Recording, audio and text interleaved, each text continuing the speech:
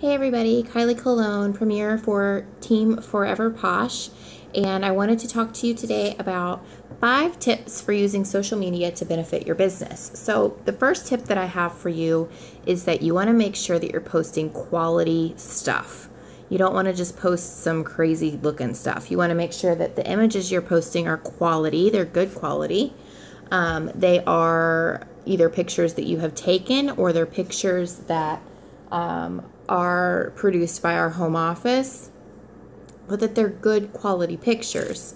You don't want anything that's blurry or um, something that you cannot read because the text isn't visible or whatever you know the case may be so you want to make sure that your images are quality the same thing goes for any videos or blogs or any text that you put on um, your facebook fan page or your facebook page whatever form of social media that you're using whether it's instagram or twitter or facebook um, you just want to make sure that whatever content you're sharing is quality content you also want to make sure that um, you're posting things other than just your business stuff.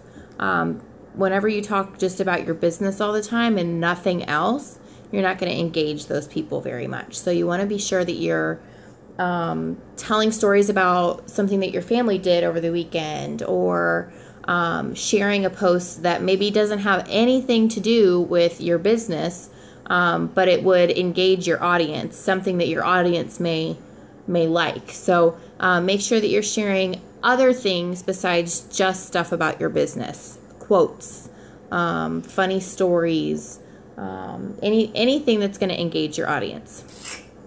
The second tip i have for you is um, to know when to post and to again engage your followers. So knowing when to post on facebook um, on your business like page there's a really cool tool that they have and it's called insights. And if you look at the insights, it'll tell you based on your posts um, and on your followers' activity what times of day um, people are more likely to see your posts. So you want to look at that insights section on your Facebook fan page and take a peek at that and be posting during those those peak hours. Um, you also want to make sure that you have a quick response time. If somebody comments on a post on either Facebook or Instagram, whatever, make sure you respond to them quickly. Make sure you interact with them. Um, don't let them hang out for like two days and then get back to them because they're going to move on to another consultant by that point. So make sure you're paying attention to your notifications and make sure that you respond to them quickly. Um, my third tip is to be supportive. Don't just be all about you. You want to be supportive of other business owners, other small businesses, other direct sales companies. So follow those people, um, engage with them, share content from their pages with your page. Um, if there's a product that you just absolutely love that you use from another direct sales company, share it to your page and engage that way. Um, and you know, if especially if that other direct sales company rep is a customer of yours, of course you want to help benefit her business as well. So you want to be supportive of her business because she's supportive of your business. So if you can help her out, do so. Um, my fourth tip is to promote any social media contest, whether that is a home office run contest or one that you've come up with yourself, maybe that you're just doing for your VIPers on a private group. Make sure you're promoting those um, on your social media um, avenues so that way you'll get more followers.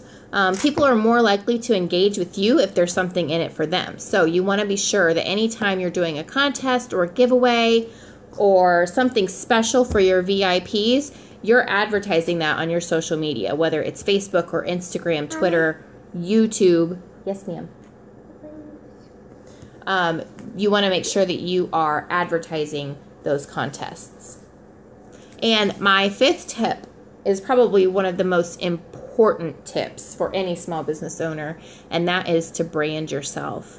You want to come up with a name for yourself um, I am today wearing Trisha's company, Posh It Out. Everybody knows that Trisha Lewis is the platinum premier of Team Posh It Out. And so that is her brand. Trisha has branded herself with the logo, Posh It Out, a guitar because she likes to rock it out on the team sales. Um, so that is Trisha's brand. Um, she always uses her hashtag, um, Posh It Out, and um, anytime she's on social media, she's tagging that hashtag, tagging Team Posh It Out. Come up with hashtags and handles that are specific to you to help you grow your business. Um, include it on your daily posts so that people are um, more likely to be better engaged with you. I have a chocolate monster over here. Um, and they're more likely to follow and support your brand. The more that you brand yourself, the more that you can be seen and heard. So you want to make sure that you are always, always, always representing your brand and even the name you've created for yourself. So those are my five tips for social media. If you guys have any questions, drop them down below and I'll be happy to answer them. Bye.